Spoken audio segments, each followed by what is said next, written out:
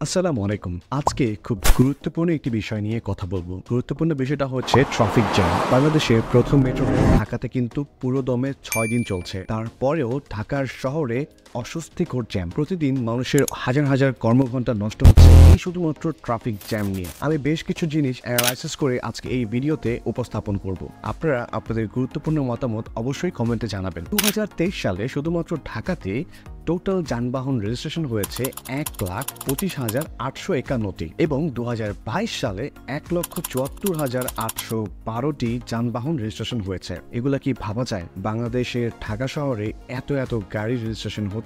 নতুন নতুন। পুরান গাড়ি তো রয়েই গেছে এবং ঢাকার বাইরে থেকেও কিন্তু অনেক গাড়ি ঢাকায় এসে কাজ করে দৈনন্দিন। ঢাকাতে কত পরিমাণ গাড়ির সংখ্যা বেশি? ঢাকা শহরের গাড়ি অনুযায়ী পার্কিং কিন্তু অনেক শর্টেজ আপনি অনেক বাসায় যেয়ে দেখবেন যে বাসাতে কিন্তু পার্কিং এর সংখ্যা খুবই সীমিত। সবার গাড়ি কিন্তু সবাই নিজের পার্কিং এ রাখতে পারে না। কেউ কেউ গাড়ি অন্য জায়গায় পার্কিং এ যে ভাড়া নিয়ে রাখে। এমনকি রাস্তা hospital bus station train station আরও গুরুত্বপূর্ণ জায়গাগুলোতে সঠিক পরিমাণে পার্কিং অ্যাভেলেবেল থাকে না। সব মানুষকে গাড়ি নিয়ে অনেক হ্যাসেল পোহাতে হয়। আরও কিছু গুরুত্বপূর্ণ ফ্যাক্টস রয়েছে যার কারণে আমাদের ট্রাফিক জ্যামগুলো কিন্তু কমছে না। এর মধ্যে একটি হচ্ছে কে কার আগে যাবে, যার মানে হচ্ছে ওভারটেকিং এবং অন্য কোনো ড্রাইভার বা অন্য কোনো যানবাহনকে আমরা কিন্তু সঠিক সুযোগ করে দেই না যে আপনি যান নো প্রবলেম আমি আছি। আমাদের অপোজিট সাইড থেকে যদি কোনো গাড়ি বা যানবাহন আসে, আমরা চাই না যে সে আমার আগে চলে যাক। মানে আমার গাড়িটা আগে যেতে হবে। সেটা বাইক হোক, গাড়ি হোক ট্রাক হোক এনিথিং যাই হোক না কেন, আমাদের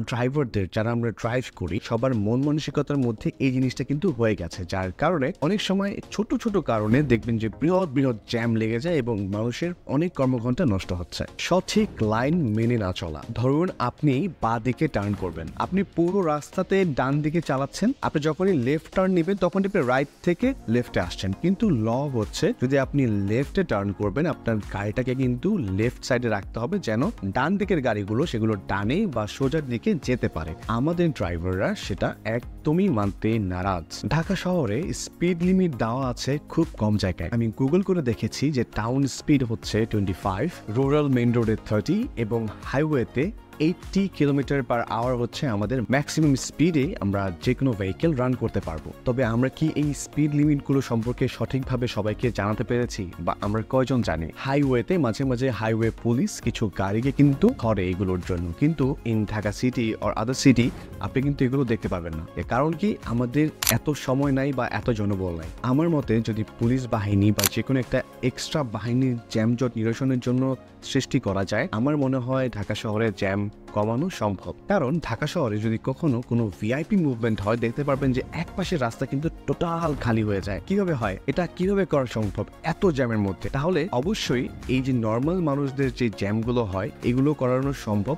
যদি সিস্টেমটাকে সুন্দরভাবে আমরা এক্সিকিউট করতে পারি, সবাইকে আরও সচেতন করতে পারি এবং সবাই মিলে যদি আমরা ভালোভাবে কাজ করতে পারি ইনশাল্লাহ ঢাকা শহরের জাম অনেকটাই কমে আসবে। এবার আসি আরেকটা ফ্যাক্ট নিয়ে, সেটা হচ্ছে যত্রতত্র মানুষের রাস্তা পার হওয়া। ধরুন কোনো সিগন্যাল ছাড়লো, গাড়িগুলো চলা শুরু করল। হঠাৎ করে একদল মানুষ সেখানে আসা শুরু করল। তো কি হলো? যে সিগন্যালটা ছাড়লো, সেখানে কিন্তু মানুষগুলো স্টাক করে দিল গাড়িগুলোকে। তখন কিন্তু যে সিগন্যালটা ছাড়ার কথা এক মিনিট, সেখানে লেগে যাচ্ছে দেড় মিনিট। মানে যত্র তত্র মানুষ পারাপারের কারণে যে কোনো গাড়ি কিন্তু আপনার মানুষের উপর দিয়ে উঠে চলে যেতে পারবে না। আমাদের বোঝা উচিত যে যখন গাড়িটা ছাড়বে, তখন যেন মানুষগুলো বা মানুষের দলগুলো না আসতে পারে। ফুট ওভারব্রিজ এটার একটা অনেক বড় সলিউশন হতে পারে। আন্ডার পাস এটার একটা সমাধান হতে পারে যে মানুষগুলো নিচ দিয়ে বা উপর দিয়ে চলুক।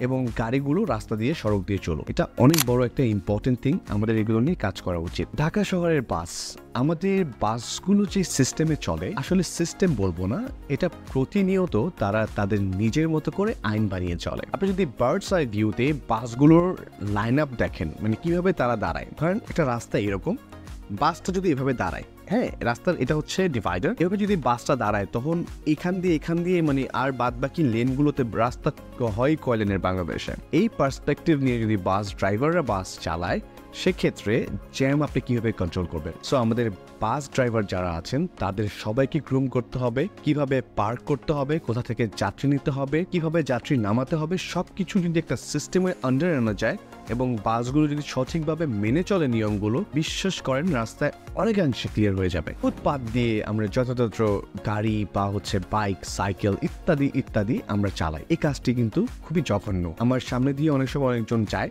কিন্তু কিছু বলার থাকে না। হয়তো বললে একটা আর্গুমেন্টের ক্রিয়েট হবে বা আমার কাছে কোনো এখতিয়ার না- আমি কোনো প্রশাসনের লোক নই যে আমি তাকে সেখানে বলতে পারি। নিজের বিবেককে জাগ্রত করতে হবে। জ্যাম একটা ছোট কারণে লেগে যায় এবং অনেক বড় হয়ে যায়। সো আমাদের নিজের বিবেককে জাগ্রত করতে হবে অনেক বেশি। সো এই ভিডিওতে আমি জানি যে আমি অনেক কিছু মিস করে ফেলেছি। হয়তো আমি চাইলে আরও অনেক কিছু বলতে পারতাম বাট ভিডিওটা অনেক লম্বা হয়ে যাবে। সো আমার এই ভিডিওটা জাস্ট এতটুকুই বলা যে আমাদের সবার সম্মিলিত প্রচেষ্টা কিন্তু পারে এই জ্যামটাকে খুব নিয়ন্ত্রণে নিয়ে চলে আসতে। এবং আমার দশ কথার এক কথাই হচ্ছে যে সিস্টেম আছে সিস্টেমটাকে ইউটিলাইজ করার জন্য যথেষ্ট জনবল প্রয়োজন। যদি জনবল যথেষ্ট থাকে ইনশাল্লাহ ট্রাফিক জ্যাম অনেকটাই কমে যাবে। আজকের এই ভিডিওটা করার আমার একটাই রিজন যে সবাই যেন সচেতন হয় এবং একজন আরেকজনকে সাপোর্ট করে যখন আপনার ড্রাইভিং সিটে থাকে, আমরা যেন এটা বুঝতে পারি যে আরেকজনের সুবিধা হলে আমার সুবিধা আমার সুবিধা হলে আরেকজনের সুবিধা। যদি আমাদের মেন্টালিটিটা এরকম করতে পারি, আমি আশা করছি যে ট্রাফিক জ্যাম আমাদের লাইফ থেকে আস্তে আস্তে আস্তে আস্তে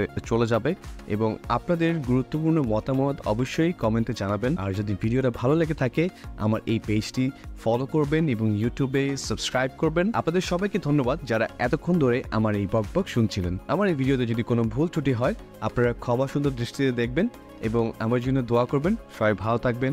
আসসালামু আলাইকুম।